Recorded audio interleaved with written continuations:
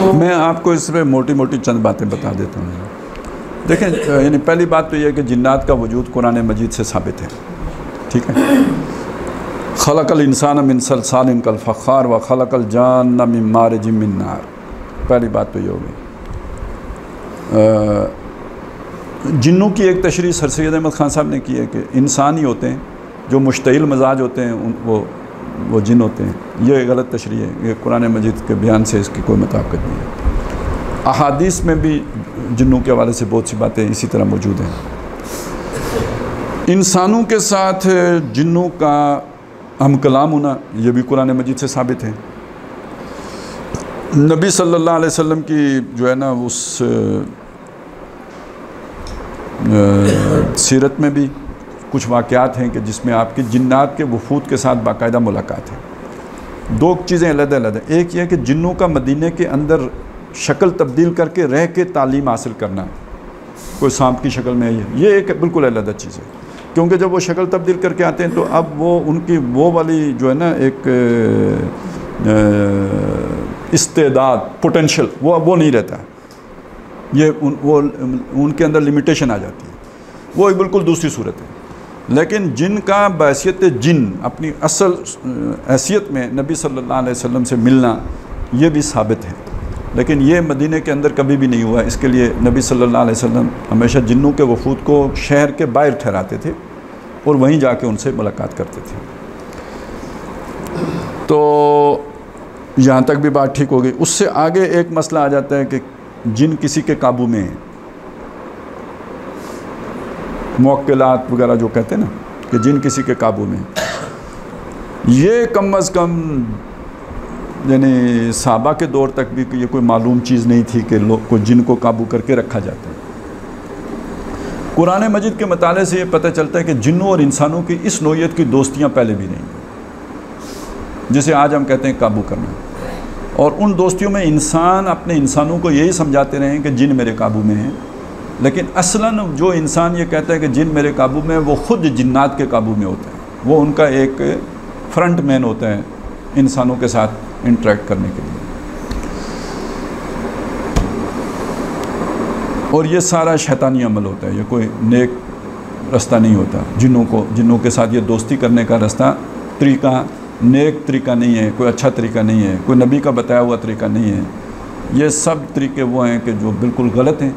और अक्सर व बेशतर बहुत बड़े बड़े गुनाह हैं। इसमें यानी कबीर, अकबरुल कबायर किस्म के गुनाह करने के बाद ही जिन्नात के साथ ये दोस्ती कायम होती है।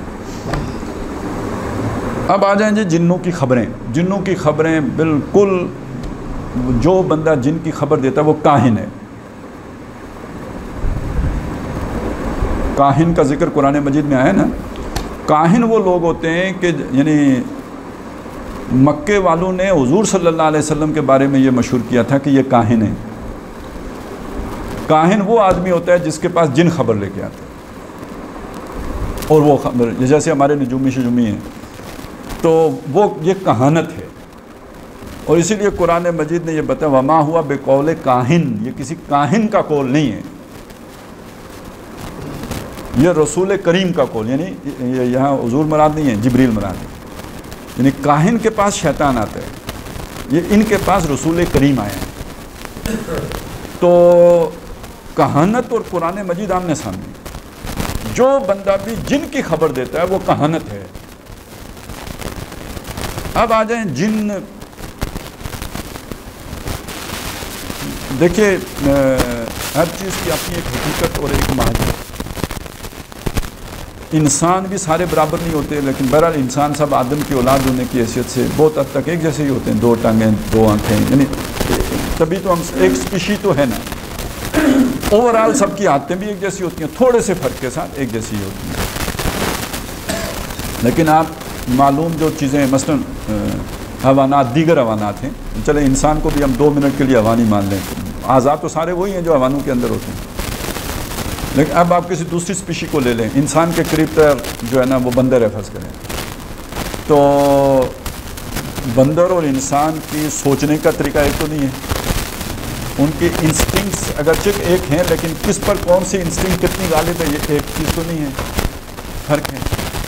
तो दोनों का खैर और शर का मैार एक नहीं हो सकता। बंदर का और इंसान का खैर और शर का मैार एक नहीं हो सकता। इसी तरह जिन और इंस का खैर और शर का मैार एक नहीं सारे इंसानों का भी खैर और शर का मैार एक है। अगरचे कि शरीयत सबके लिए एक है, लेकिन कुछ लोगों को अल्लाह ताला ने खैर कसीर दे के भेजा होता है। उनकी पकड़ का लेवल कोई और होगा। जिनके रुतबे हैं सवा, उनकी सवा मुश्किल। है कुछ लोगों के साथ अल्लाह ताला ने जो है ना वो मतलब शर ज़्यादा होते हैं, उनकी तबीयत के अंदर पैदाशी तौर पर ज़्यादा होते हैं। तो उनका मासपा, उनकी जो भी तबीयत है, उसके हिसाब से अल्लाह ताला करेगा। तो जिन एक ऐसी मखलूक है जिस पर इंसान। लिहाजा उनके खैर व शर का पैमाना भी मुख्तलिफ़ है और जिनों के बारे में रवायत से ये बात मालूम है कि वो झूठ बोलते हैं। वो ईमान भी ले आए तो झूठ नहीं छोड़ते। ये मैंने इतनी लंबी तमीद असल में सिर्फ़ इस एक बात के लिए बांधी थी कि अब एक मुसलमान है ना, मोमिन, मुसलमान ना मोमिन, उसके बारे में तो हदीस में आता है, वो ये भी कर सकता है, ये भी कर सकता है, ये झूठ नहीं बोल सकता। लेकिन जिन अगर मोमिन भी होगा तो झूठ नहीं छोड़ेगा।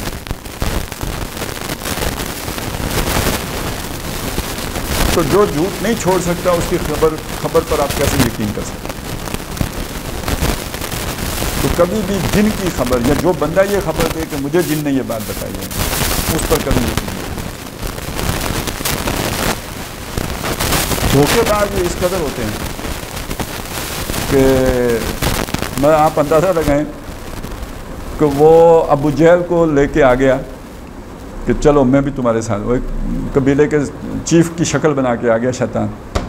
आके एन कुड़की में फंसा के वो उधर आके कहता है कि मैं तो वापस जा रहा हूँ। ठीक है ना? यहाँ वहाँ से वापस हो गया बड़े आराम से। सुरह हशर में तो साफ़ बताया ना कि कमसल शैतान, इस काला इंसान इकफुर, जब वो कह, वो कहता है, इंसान को कि कुफर कर। शैतान मशवरा देता है, कुफर कर लो। को उल्टा काम सिखाता है उसे, वो कर कर लेता है उसे। फलम्मा कफरा जब वो ये काम कर लेते हैं। काला इन्नी बरी उम्मीन का उसी वक्त कहता है, मेरा तेरा कोई ताल्लुक नहीं। इन्नी अखाफुल्ला, मैं तो अल्लाह से डरता हूँ। तो यानी हम किसी इंसान के बारे में यूँ सोच भी नहीं सकते। लेकिन देखिए, वो यूँ यूँ करता है। इसलिए अपने पर ना क्यास कीजिए कि जिन वैसे सोचते हैं या उस तरह बिहेव करते हैं, जिस तरह के हम करते हैं। नहीं। जिन्नों की अपना एक आते हैं, अपना उनकी एक वो है, जो बनावट है, जिस पे वो बनाए खिलकत है, लिहाजा उन पर एतमाद कभी भी नहीं करना चाहिए। जिनकी ख़बर को मानना ही नहीं चाहिए। ये जो होता है ना, ये जो वो उन्होंने तावीज़ निकाल लिए तो ये सब ना वो हँसी खेल कर रहे होते हैं हमारे सामने। और ये जो इलाज मालजा भी आजकल जिन्नों ने शुरू किया हुआ है बहुत सारे लोग ऐसे हैं कि वो कहते हैं कि जो हमारे पास जिन है और जिन सर्जन मतलब वो आर्ट पेशेंट भी देखते हैं आर्ट सर्जरियाँ करते हैं। वैसे दिलचस्प बात यह है कि वो जो बाग में एक शख्स थे ना, बाग के करीब, हमारे यहाँ भी बहुत से लोग वहाँ पे गए हैं, उनके पास जाके। तो अल्लाह ताला निशानियाँ अपने दिखाता है। वो बंदा अभी कोई छः महीने पहले उसको हार्ट प्रॉब्लम हो गई, उसको खुद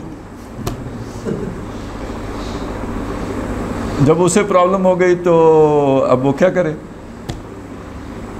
मुझे पहले खबर मिली थी कि भाई उसने जाके कराची में ऑपरेशन कराया है। अभी पिछले दिनों मैं जा रहा था कोला की तरफ़ तो यहाँ पे सड़क बंद थी। वो, वो कारपेटिंग कर रहे थे। तो वहाँ एक बंदा मुझे देख के तो मिलने के लिए आ गया। वो बाग का था, वो वकील था। वो मुजफ्फराबाद जा रहा था तो वो रास्ते बंद थे, वो मुझे, मेरे साथ बैठ गया बातू बातू, काफ़ी टाइम, अब उसने भी गुजारना था, मैंने भी गुजारना था। उसने बताया वो मेरी बरदरी का है, मेरा पड़ोसी है, और मैंने ही उसको भेजा था कराची। क्योंकि वो कहता था, यहाँ अगर मैंने कराया तो ये तो सारा मसला बन जाएगा। मैंने कहा, चल, तेरा कारोबार भी चलता रहे तो कराची चला जा। लेकिन वहाँ भी वो किसी ने देख लिया, फ़ोटो लगाई उसकी। आजकल सोशल मीडिया का दौर है। वो आ गई। तो उसका अपना तो ये हुआ। लेकिन मैं ये कहता हूँ कि ये देखें मुमकिन है कि जिन आपका इलाज करे और अच्छा इलाज करे। इस बात का बिल्कुल इम्कान है। क्यों? कि ये बहुत सारे वाक़ात लोगों ने लिखे हैं कि जिन्नात जो है ना, मदरसों में पढ़ने आते हैं। मस्जिद नबी में भी आते थे। मदीने के बारे में भी है कि वहाँ पे वो शक्लें तब्दील करके रहते थे। अब आप सोचें कि कोई मेडिकल कॉलेज में जिन घुस जाए, उसे कौन निकालेगा? उसे तो कोई फ़ीस देने की ज़रूरत नहीं है। वो तो मर्ज़ी जिस कॉलेज में जाके पढ़ ले। हमें तो फिर कहीं दाखला लेना पड़ेगा पाकिस्तान में, ये वो वो तो जाके अमेरिका में पढ़े ना, जिनको कौन रोकेगा? उसके बाद जनाब वो तजर्बा हासिल करने के लिए जिस ऑपरेशन थिएटर में घुस जाए, जिनको तो कोई नहीं रोक सकता। है लिहाजा अगर अच्छा उनकी उम्रें भी बहुत ज़्यादा होती हैं। हमारा एक बंदा काबिल हुआ इतने इतने में साठ साल हो गया हो गया, दस साल और तजुर्बात किए, मर गया। जिन अगर 400 साल 600 साल 800 साल जीता है तो उसका तजर्बा कितना वसी वरीज होगा। तो इसलिए अगर वो कोई सर्जरी करता है या ये वो तो मतलब एन मुमकिन है कि कर ले। लेकिन मेरे ईमान का तकाजा ये है कि मैं किसी ऐसे बंदे के पास बिल्कुल ना जाऊँ कि जो जिन के ज़रिए से इलाज करता हूँ। और आखिरी ज़माने के फितनों में से ये एक बहुत बड़ा फितना है, ये जो इलाज मालजा जब जिन्नात शुरू करेंगे तो इसका जो एंड है ना, वो दजाल है। दजाल के बारे में ये बातें हदीस में आई हैं कि जो पैदाइशी अंधा होगा, उसको भी वो ठीक कर देगा। अब मेडिकल साइंस यहाँ पहुँच चुकी है। कोड़ी को ठीक कर देगा बंदे को पूरा काट के अलहदा अलहदा करके फिर जोड़ेगा। अब ऑपरेशन में ये नहीं हो रहा। वो दिल कितना नाजुक है उसको खोल के वो अपने वो बादशाह सीधे करके घड़ी साज की तरह तो फिर उधर रख के फिर चला देते हैं। तो यानी मेडिकल साइंस वहाँ पहुँच चुकी तो यही काम जिन्नात शुरू कर दें। और वो कनेक्टेड हूँ दजाल के साथ। तो ये एक आजमा इंसान का ये करना, ये ये चूँकि इसबाब के दायरे के अंदर है, इसकी इजाज़त है। जिनका ये करना, चूँकि वो गैब में है, वो हमारी निगाहों के सामने है, उससे इस तरह की मदद लेना ये शिरक, इस्तिमदाद बिल गैब। मदद हमेशा अल्लाह से लेनी चाहिए, लेकिन इसबाब की सतह पे दुनिया में इंसानों से मदद ली जा सकती है। लेकिन वो चीज़ जो गैब में है, फरिश्ता ही है, नेक चीज़ है, उससे भी आप मदद नहीं मांग सकते। तो जिन से कैसे मदद मांग सकते हैं?